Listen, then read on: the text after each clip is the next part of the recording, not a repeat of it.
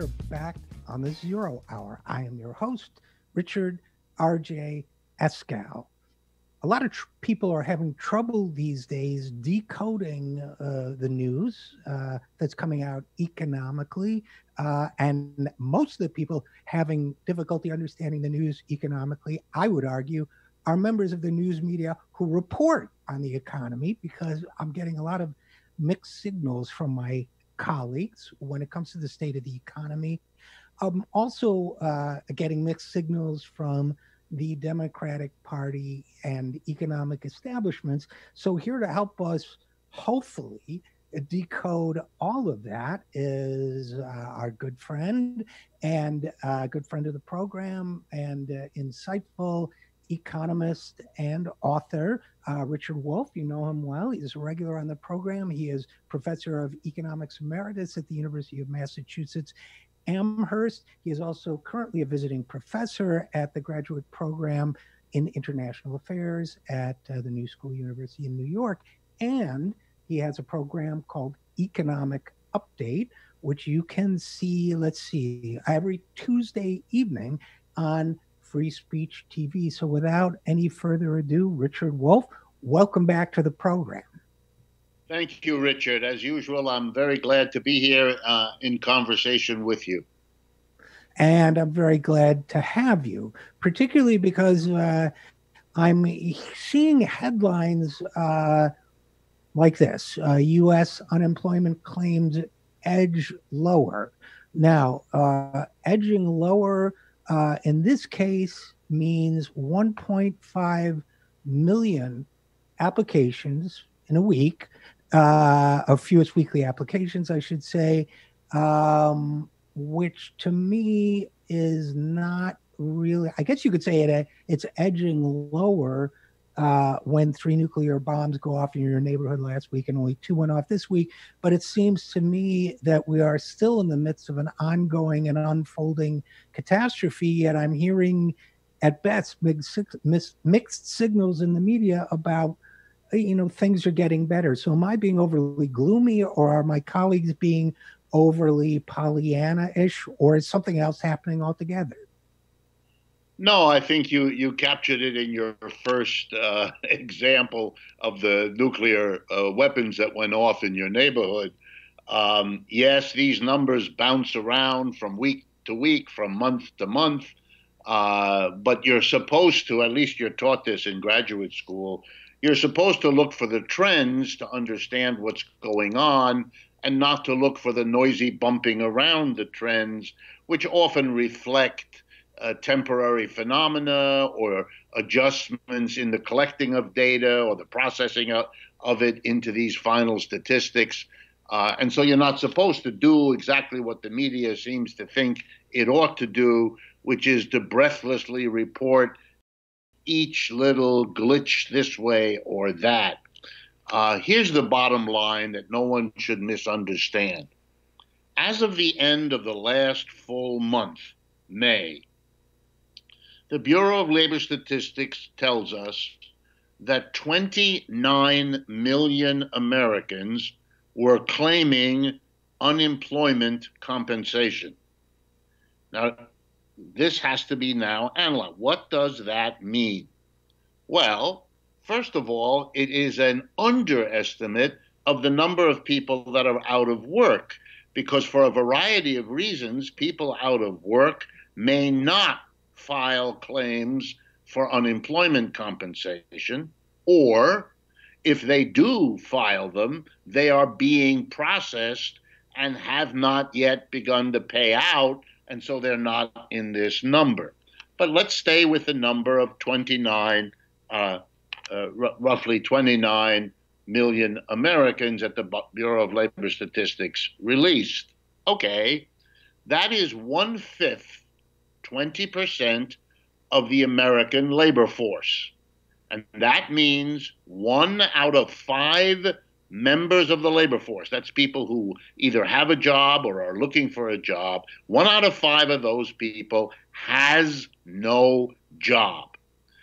If you're in a family that has more than five people in it, counting mother, father, children, grandparents, cousins, and uncles, and most of us have more than five of all of those, then you are being affected by this. Uh, in other words, this level of unemployment touches virtually every family. Of course, some more, some less, and there might be a few that escape it altogether. But this is a, here we go now, catastrophic level of non performance, non functioning of the American economy. And whether it goes up by a million or more a week uh, really makes no difference at all. Uh, it is possible that we are slowly, quote unquote, reopening.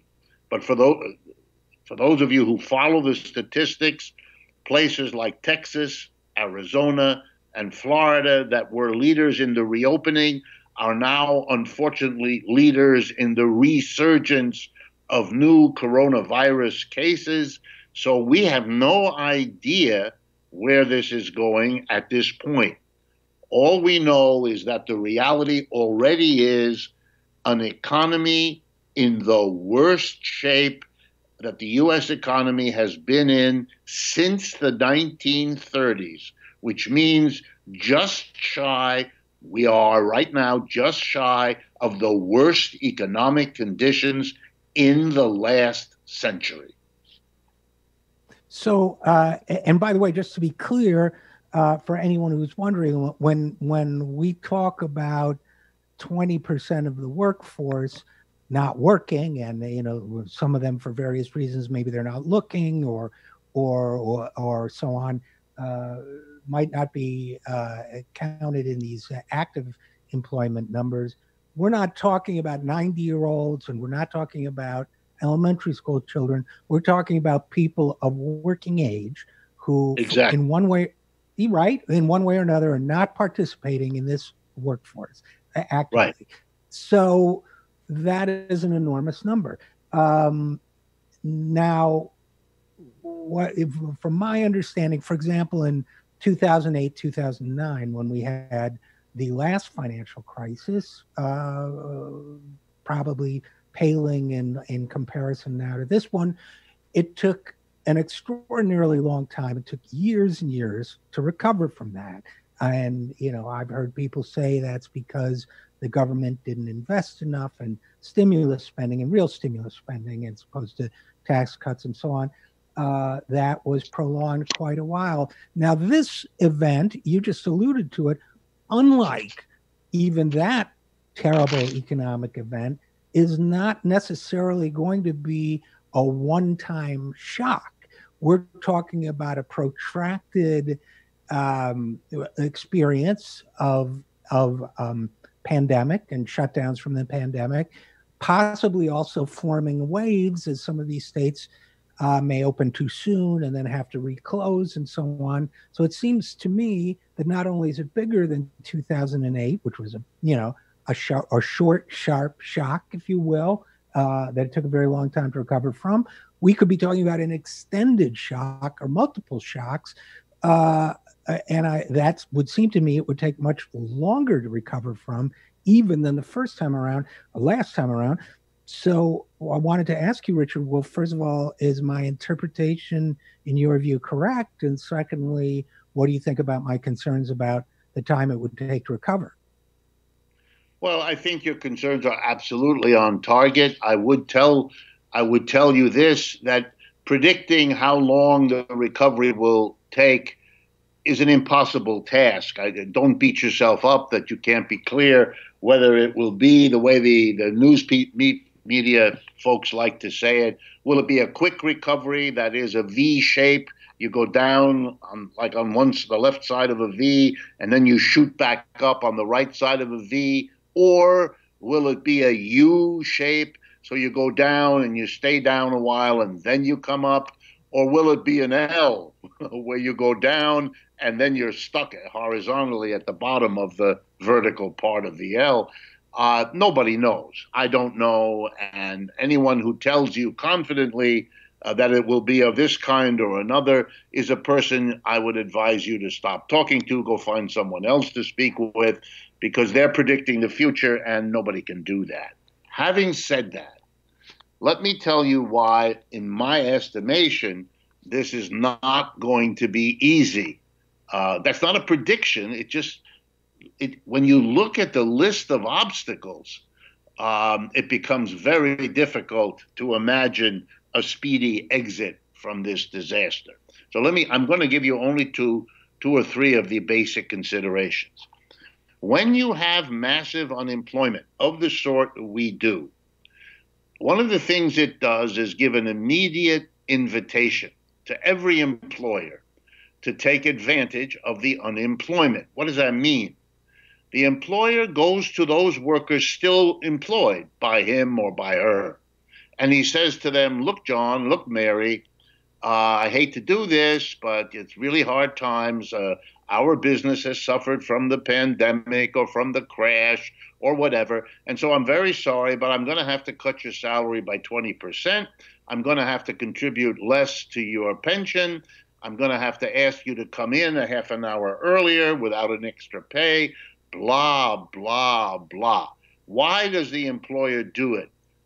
Partly because of what he just said, and there's some truth to it partly because it's an opportunity he cannot afford to let go. It's an opportunity to economize on his labor costs.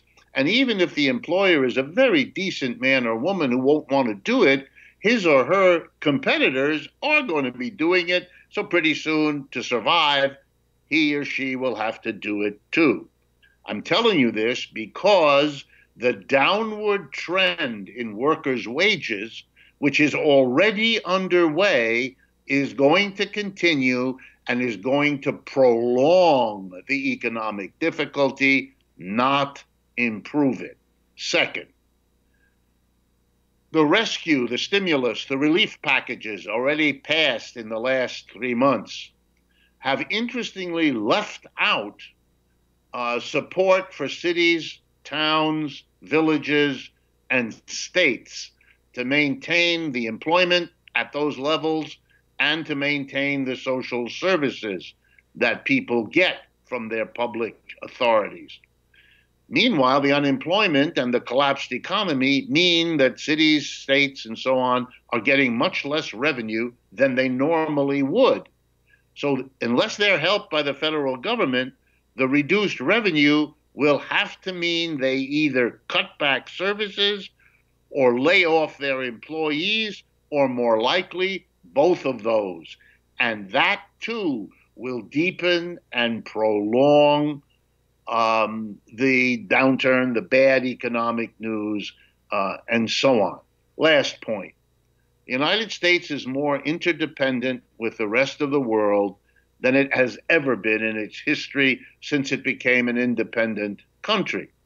And the result of that reality is that whatever we want to say about the United States, we have to take into account the international relationships and their impact on the U.S. economy.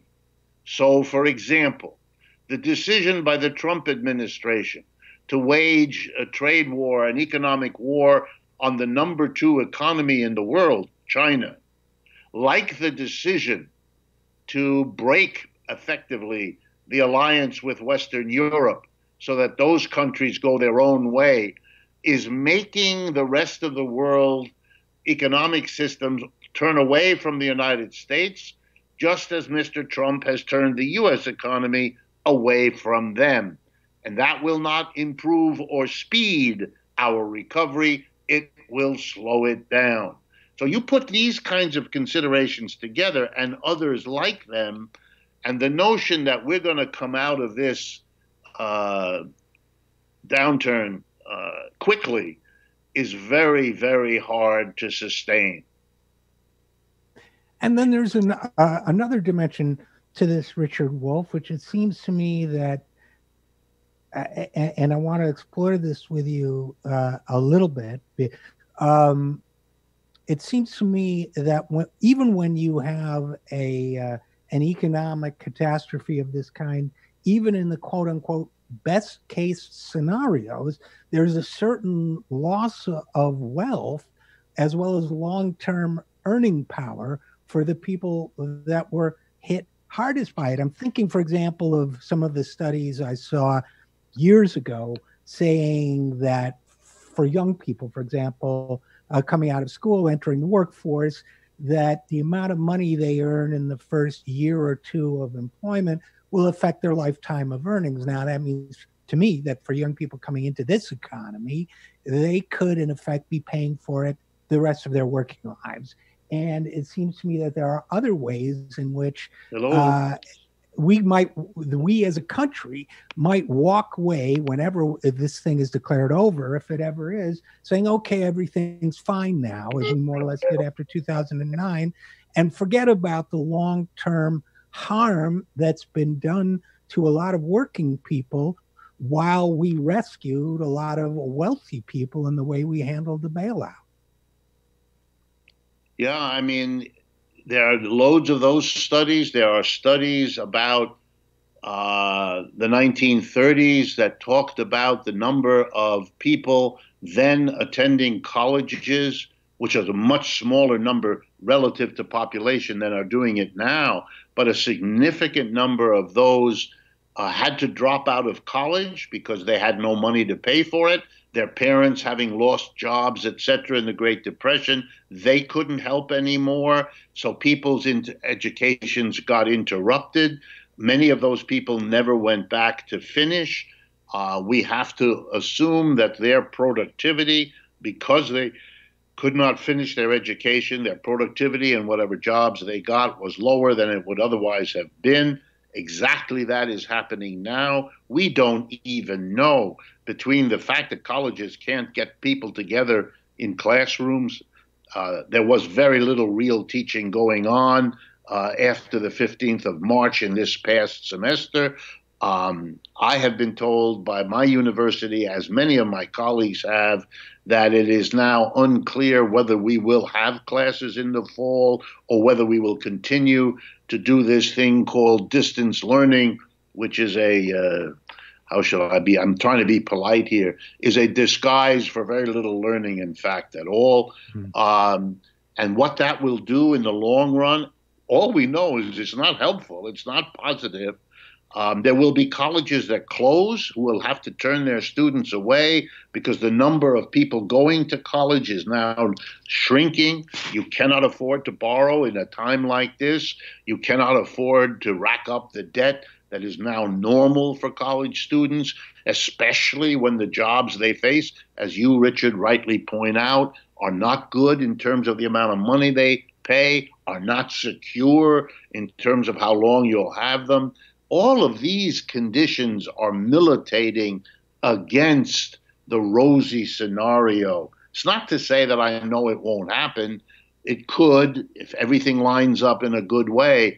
But what we're really seeing is a kind of chickens coming home to roost, a long period of time when the can was kicked down the road, when decisions were made to get through a, a bad dot com crisis in 2000 or a bad subprime mortgage crisis in 2008 by heaving money at the economy. All of the instabilities, all of the imbalances created by those quick solution approaches are now coming home uh, to plague us. And there's a little footnote here that I would like to insert, if you don't mind. Sure. There's a there's an agency that keeps records for the United States. Uh, it's called the National Bureau of Economic Research, NBER.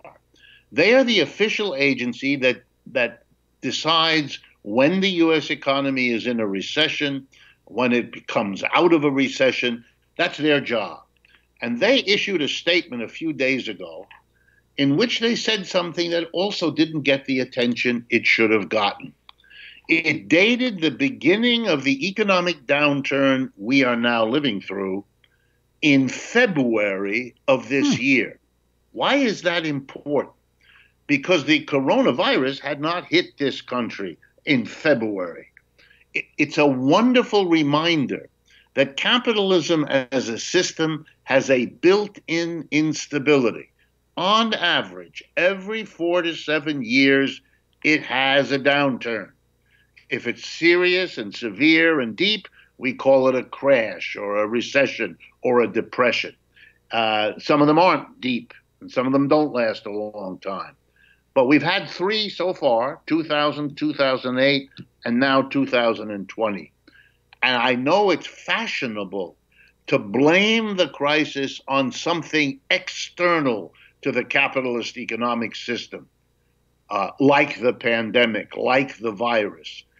But it's a bit of a ruse. It's a bit of a um, an attempt to deflect criticism from capitalism for being unstable by blaming it on a, if you like, outside agitator, in this case, the coronavirus. What the NBER did was to do the hard work, date the time of the, the crash beginning, and you can see that what the pandemic did at best is to make a bad crash worse. But it isn't the cause. It should not have its name on this crash. This is capitalism's business cycle, a boom bust cycle, whatever you want to call it. It's got a lot of names. It is something built into capitalism that all of the efforts of the last 300 years to free capitalism from this instability, none of them have ever worked. And we're in yet another one. And this one, unfortunately, is a real doozy. Again, we're talking with economist Richard Wolff on the zero hour. and uh, I want to uh, talk, since we've talked about the extent of the crisis now, I want to talk about um, the political climate when it comes to a potential solution we have. We, you and I have already talked about the Democratic Congress's proposal and the weaknesses of that, the HEROES Act, as they call it. Uh, and I found a recent article to me to be a sort of harbinger of where the debate might be going. It was uh, uh, published as a four author op ed in the Washington Post. Uh, and the authors were, um, let's see, Jason Furman, who is, I think, uh, considered by many to be close to the Joe Biden team, and uh, of course was a uh, part of the last Democratic administration. Timothy Geithner, uh, who was, of course, Treasury Secretary under Barack Obama, and then two Republicans, including Glenn Hubbard, who served under, I believe it was George W. Bush. So, and Melissa Kearney. So we have this group, which, uh, you know, this whole notion of bipartisan economic policy is it's almost touching to me and its naivete, but that's just me. But anyway, if I may, I just like I just like you to read a um, the what I think is a key paragraph from it. Uh, it says, and I quote: "A successful recovery plan must help businesses revive and resume hiring." Now, note that it places businesses before jobs already in the first sentence. It must bolster incomes battered by the pandemic shutdown without creating disincentives to work, as if the biggest problem facing our economy right now is people are too lazy to work. And it must support state and local governments in their efforts, uh, helping to heal the economy and shield their residents from the worst effects of the downturn. Fine. So, with this in mind, the four of us uh, from both political parties are releasing a plan to achieve those goals. Now, uh, that before going into the nature of the plan itself, that strikes me as a kind of ideological statement. But I want your thoughts on that because I, it feels to me that the members, uh, the leaders from both parties here of economic thinking, are both saying, first and foremost, the only way to rebuild an economy is using businesses as a channel, and that therefore a recovery plan, which is by definition a government creation, must help businesses, and therefore, at some point down the line, incomes uh, will be helped uh, and jobs will be created. Is that, uh, uh, am I being overly harsh? No, you are describing two very old things. There is absolutely, I've read that, uh, that article uh, myself. I, I know those individuals.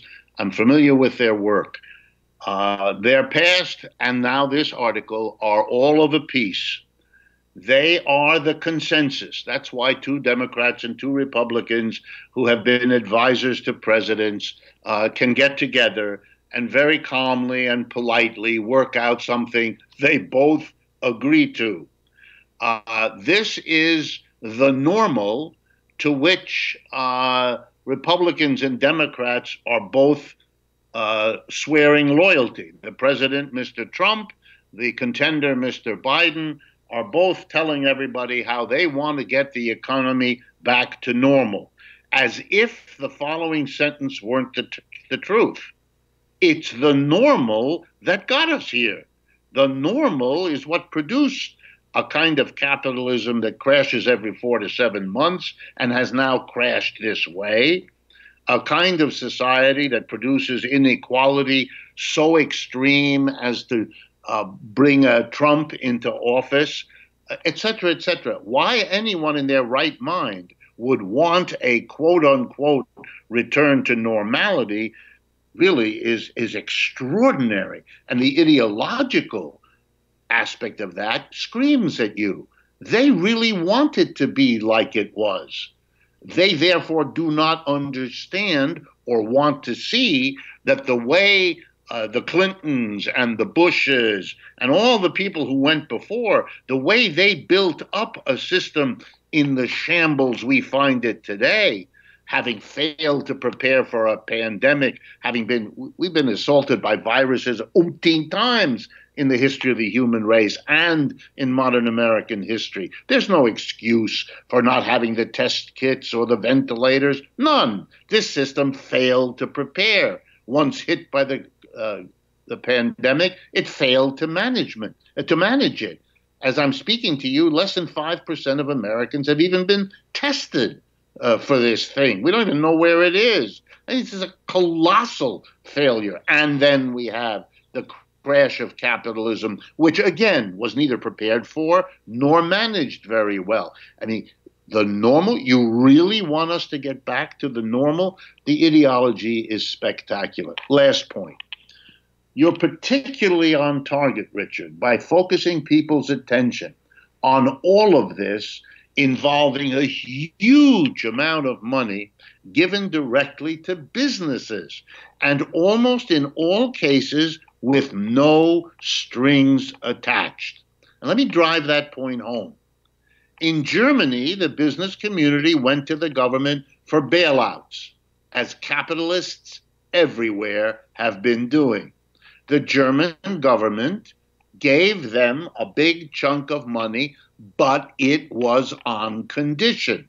One condition, which should come as a surprise to nobody, but of course in America it will, one condition was we'll give you a lot of money. You cannot fire or lay off anyone. Here's therefore the result. Over the last 10 weeks, unemployment has quadrupled in the United States from roughly 4.5% to roughly 20%. Okay? In Germany, 10 weeks ago, unemployment was 5%. And in Germany today, as I'm speaking, unemployment is 6%. There is no surge in unemployment in the in Germany. It's a capitalist country, but you can't get away in the capitalist country of Germany. And by the way, it's true in France, it's true even in England. You can't do to the working class in those countries what you can do in the United States. Their unions are stronger. They have socialist and communist political parties that have big constituents, and the the cultural influence in those countries of the of the power of the government and of its responsibility to the mass of the working class is such that even conservative leaders uh, like Boris Johnson in England or Macron in France or Angela Merkel in Germany, they don't dare do there to their workers what we do in this country. And they don't because they would be out of office in a matter of days if they dared. That reality has to somehow sink in, but it doesn't to the likes of those four authors. They are happy to give business the money, tons of it, no conditions. They don't even mention in that article any conditions. And guess what? if you give the bulk of the trillions that are being given out to business, businesses will do what they always do. The chief executives, the major shareholders, will use the relief money in whatever way they think advantages their company. They're not going to use it to hire more workers because they can't even sell what they're producing now with 20% of the people without work. They're not going to do socially useful things. They're going to play in the stock market. They're going to give each other bonuses. They're going to sock the money away. They're going to do what's good for the business. And we're all going to be wondering and scratching our heads gee, why didn't the bailouts work better? Well, they didn't because you gave it to the wrong people. If you want to make sure that the economy gets a boost, give it to the people you know will do with it what you need for society. And that means go out and spend it for goods and services that will give other people, the unemployed, the jobs to produce those goods and services. And to do that, you give money to the poorest people because they have no choice. They will spend it tomorrow. You give it to workers, you give it to the poor because they turn that money around and spend it.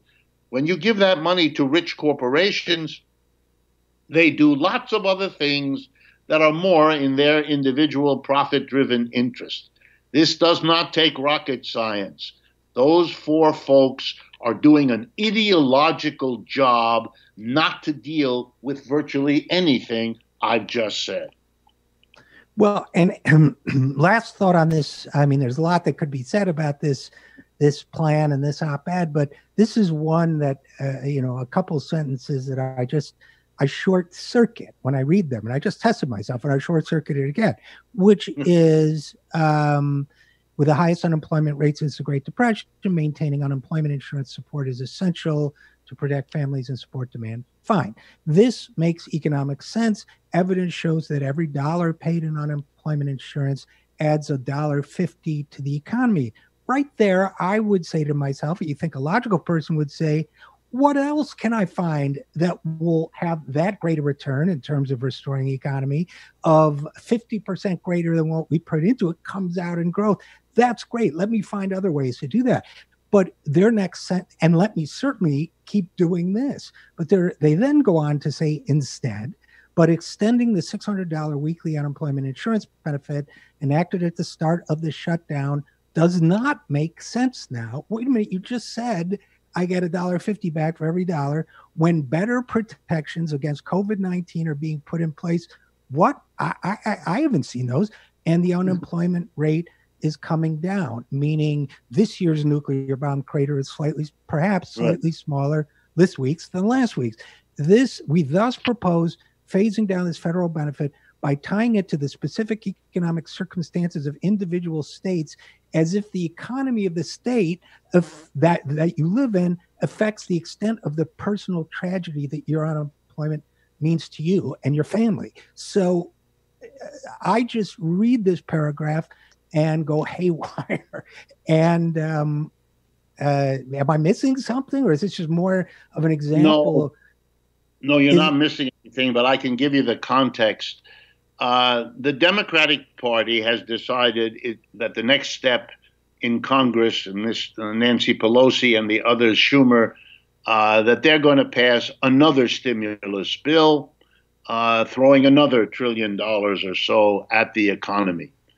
My my guess is they're doing that because they don't want Mr. Trump to be in the position of having thrown a lot of money at the economy and therefore claiming that he is helping the economy and, and claiming that the Democrats either couldn't or wouldn't or didn't. And so now they're going to do this thing. They're going to spearhead it. And the Republicans don't want that. Uh, there's a whole host of reasons for that. But they can't say don't throw a lot of money, partly because they just did that, and partly uh, because it doesn't look good to an economy that's suffering uh, for the, Demo- the Republican Party to be against helping folks who need it. So they have to be able to be opposed to another trillion, but make it sound like there is some plausible argument for it other than their desire not to put the government into even further debt, which is the only way that this uh, trillion they're proposing can be funded. And by the way, just so everybody's clear, why don't they want there to be more borrowing? The Republicans are always afraid, and that's their job as the representatives of business and the rich, that the more in debt the United States becomes, and it is currently becoming more in debt at a stupefying rate. All of this stimulus money is being uh, gotten by borrowing. The American government borrows. The great fear is that at some point, some politician, you know, a Bernie Sanders type, will get in and say, okay, uh, it's impossible for us to pay off these debts. You know, the way a lot of college students are now saying it's impossible for them to pay off student debt. Uh, and so we're not going to pay it. Well, the people who own that debt are the corporations and the rich. They don't want to see that, and therefore they want to keep the indebtedness of the government down. They got the lion's share of the first trillion given out as stimulus, and they don't want another one because then the benefit will go to the average person. That's what the Democrats want for the logic you just gave us. But it'll mean more debts, and that will hype up the pressure that may end up coming out of their hides. That's the reality. The rest is, as you put it, Richard, ideological noise designed to enable them to vote against something without looking like they're voting against that. Got you. So that uh, that gets back to my, among other things, my old definition of bipartisan, the word bipartisan meaning the policies you get when you buy members of both parties. But um. Unfortunately, we're going to have to leave it there. Uh, but Richard Wolff, economist, host of Economic Update, Tuesday evenings on Free Speech TV. Uh, fascinating to walk through this uh, catastrophe with you. Uh, let's hope sanity prevails more and more in our society. In the meantime, as always, thanks for coming on the program. Thank you also, Richard. And I, I, have, I am hopeful because I think the movement of criticism into the streets is an enormous step forward uh, and will help clarify thinking all around. Uh, well, perhaps next time we'll talk about that. But Richard, right. thank, thanks again. And we will be right back after this. I am Richard RJ Eskow, and you're listening to The Zero Hour.